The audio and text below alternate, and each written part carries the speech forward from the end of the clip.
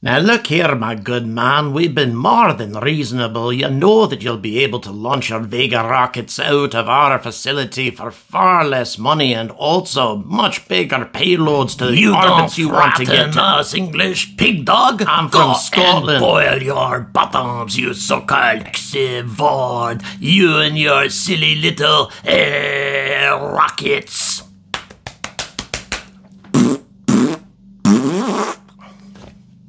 Now, just a bloody moment. You keep acting like this, so unprofessional and everything, then we're just gonna have to. How you English say one more time? Uh, I unplug my nose at you, you sons of a window dresser. So you thought you could out clever us French folk with your knees bent, running around and dancing behavior? Ah, with my private parts at your aunties, you cheesy lot of second-hand electric donkey bottom batters. Now, this is your last chance. I've been more than reasonable. Either you start listening to what I have to say, or at least laugh, you a little bit more polite, Huh? or we'll just. That's love you say? Huh? Dear God, what's happening? Run away! Run away! Run away!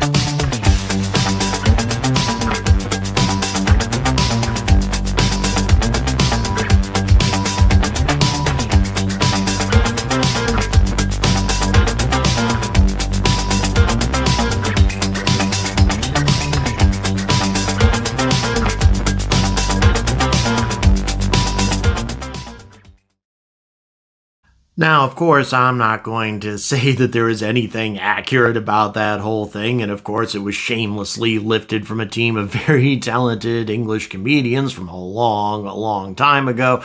But um, there are certain accuracies about it. The fact of the matter is, every interaction I've had with Arianespace since I've come over here kind of goes towards the arrogant side. Well, not just a little bit. Um, they were having an event of some kind, uh, you know, food out for everybody, but it was out in the middle of the convention floor. Everything seemed to be kind of, you know, open invitation. Walked up there and uh, they had their bouncers saying, uh, you, you, are you on the guest list, et cetera, et cetera. And I said, Are the media invited to uh, participate in this? No, they are not. Okay. So, anyway, it was just kind of the general attitude not only I got out of them, but just about everybody else. And indeed, um, SaxaVord did approach them with an opportunity to launch Vegas out of their facility, and they, they didn't get a very friendly response. So, really, this kind of personifies what Arianespace represents the old boys network of Europe. And for all this time that I've been over here, I've been really kind of giving the the image of somebody who's just really um, I just admire you know what Europe has been able to accomplish on such small budgets, etc. But that doesn't mean that everything is idyllic here as far as spaceflight is concerned, or they have all the answers. Because really, when it comes down to it, Europe is less committed to spaceflight even today than the United States is with NASA. And not only that, Europe is just as guilty as far as pointless waste and ineptitude and running over budget, over schedule, etc. They just pretty much do it with one company, Arianespace. The Ariane 6 is now long overdue, at least two years. It'll probably be at least three years overdue by the time they actually launch the thing, assuming it gets off the ground in 2023. And not only is it woefully um, late, it's also way the hell over budget.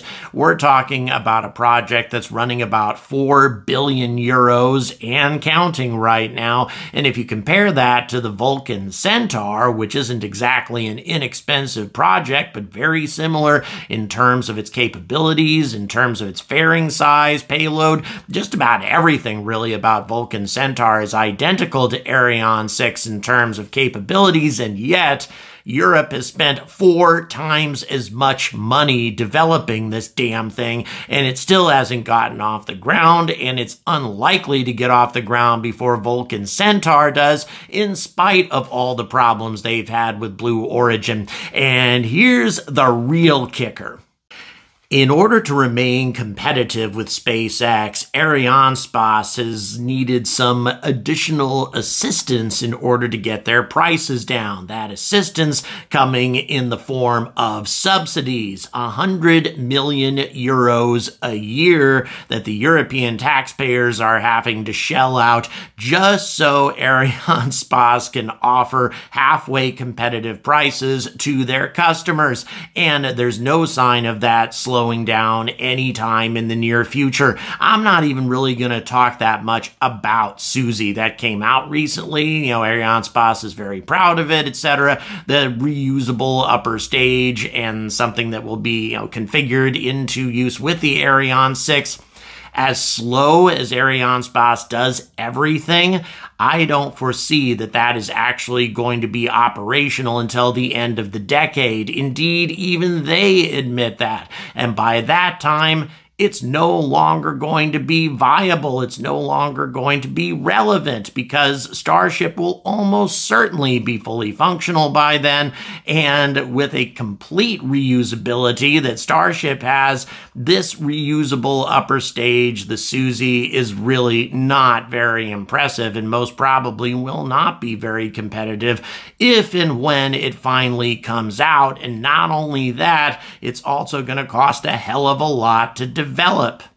So as a result, this one company, this one spaceflight or launch provider out of Europe has been essentially monopolizing all of the money that Europe spends on spaceflight. The amount of money going out to other providers, the new emerging guys like RFA, Skyrora, and others, is pathetic pathetically small compared to the amount of money that Arianespace gets, and they just keep getting more. As I say, they're kind of the Boeing of Europe, except even worse, really, because at least in the United States, NASA has seen the potential that SpaceX has. They've seen how impressive everything they've been doing is, and so they invest money in them, and so does the U.S. Space Force. Whereas on this side of the pond, really the vast majority majority of the money is still going to this one company and for all the typical reasons. Because Arianespace and Ariane 6 is providing jobs to just about every major country in the European Union,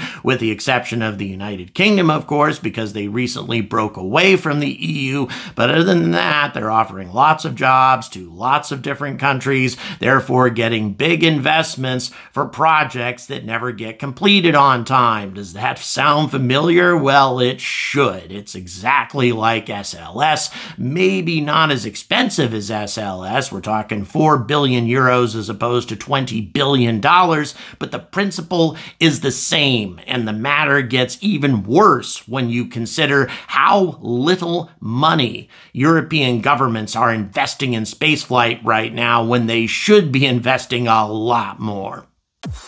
For example, in order to support all of their new initiatives, the French government recently announced that they're going to be increasing their spending, a massive increase, quote unquote, to a figure of 9 billion euros over the course of the next three years, or about 3 billion euros a year. Now, that may sound like a lot for a relatively small country, but it really isn't. The United States spends eight times as much money on NASA, and the the United States economy is only about six times as big as the French economy, which means per capita, even with this increase, France is still not spending as much money on space as the United States is. But it gets even worse when you move across the channel to the UK.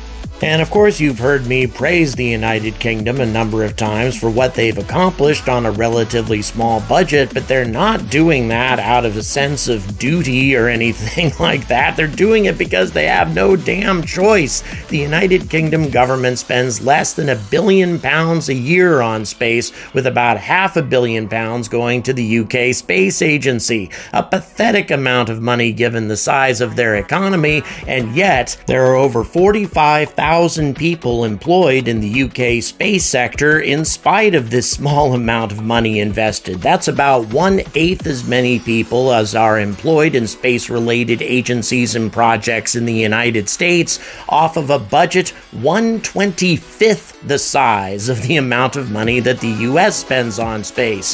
What does that mean? Well, it means that dollar for dollar or pound for pound, the United Kingdom gets more jobs and more job creation out of what they spend on space than the United States does, about twice as much, which means, given the fact that the United Kingdom is in a state of economic crisis right now, about the smartest thing Liz Truss could do right now, especially given how unpopular she is at the moment would be to invest heavily in aerospace. I mean, obviously, this is creating lots of jobs in this country already, and it could escalate tremendously if the UK were to, say, spend as much money as the French are at the moment. It is very difficult to understand, incomprehensible actually, that the UK is not investing a hell of a lot more in space at the moment, given how much success Spaceport Cornwall and SaxaVord have had on virtually no funding and almost all of it private. But here's the greatest travesty of all the budget of the European Space Agency. You would think, with the entire might of the European Union behind it, that ESA would have a very substantial budget, especially given all of the ambitious projects they're working on. The total budget for ESA is 6.5 billion euros. 6.5 5 billion euros, or roughly 25% of what NASA gets. That is absolutely pathetic, especially when you consider that the European economy is roughly 70% of the size of the United States economy, and currently the United Kingdom still contributes to ESA. So, what does this translate into in terms of astronauts? Well, it's kind of hard to say there are only seven European astronauts active right now. Seven! As opposed to the total amount for NASA, which currently is about 43. 43 active astronauts versus 7. So, for a young European kid dreaming of going to space, what's your best alternative? Move to the US and get U.S. citizenship and try for that lottery as opposed to the almost impossible lottery in the European Union. It once again is unacceptable, and I really don't see any European space enthusiasts disagreeing with me here. And in general, Europe does amazing things with the small amount of money that they get allocated. If you talk about, for example, the ESA service module for the Orion space spacecraft. The amount of money we've spent on Orion is definitely in the billions of dollars, whereas ESA developed a completely new service module from scratch and built six of them for six future Artemis missions on half a billion euros. That's right, half a billion euros for half a dozen service modules, which, by the way, is no easy task. We're talking about the propulsion, life support, everything else that Orion is going to need in order to be functional and to carry out lengthy lunar missions. And they did it on half a billion euros. By the way, this was a trick carried out by Airbus, a company which I have a great deal of respect for, and yet, strangely enough, Arianespace is an offshoot from Airbus. Apparently, they didn't get their best of their talent. And allow me to get in one more round of Arianespace Soviet bashing because I'll tell you, they have a lot of things to criticize, but the biggest of these things was their decision to compete with SpaceX and everybody else by using Russian Soyuz rockets simply because the Russians could deploy satellites for a lot less than Arianespace themselves could do. Not a whole lot different than Blue Origin, really. How do you get to orbit for cheap if you're Arianespace? By not using Arianespace. But this, of course, backfired on Arianespace recently due to the Russian invasion of Ukraine. And this is something they should have seen coming a long time ago. In 2014, Putin did his whole land grab in Crimea and elsewhere, and it should have been obvious that Russia was going to be an unreliable partner in the future,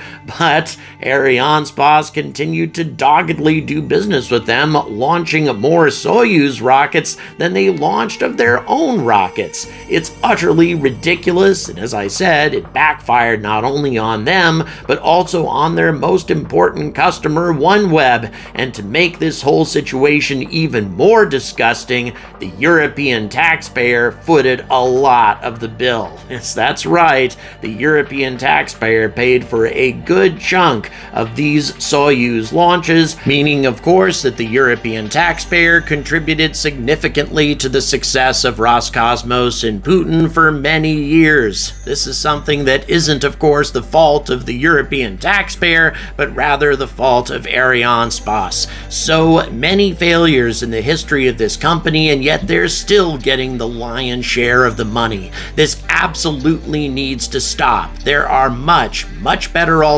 alternatives in terms of launch providers emerging right now in Europe. They deserve a lot more investment, and spaceflight in general deserves a hell of a lot more investment from European governments everywhere. Nobody's spending enough money, obviously, given the paltry amount of money that ESA has at their disposal. So, please like, please subscribe. Also, check the description for various ways to support my content so I can continue making journeys like this and bringing you unique content from Europe and elsewhere. And as always, stay angry about space.